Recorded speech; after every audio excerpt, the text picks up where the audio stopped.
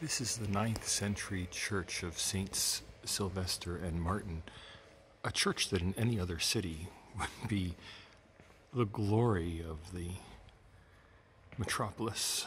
Here in Rome, just another relatively unvisited 16th century church. The church is actually 9th century, and it does retain some of that ancient feel with the stone columns but it was completely renovated in the 16th century. So the paintings in the walls apparently cover tile mosaics, which are now completely plastered over. It would be magnificent to see them opened up again someday. Doubt that will ever happen.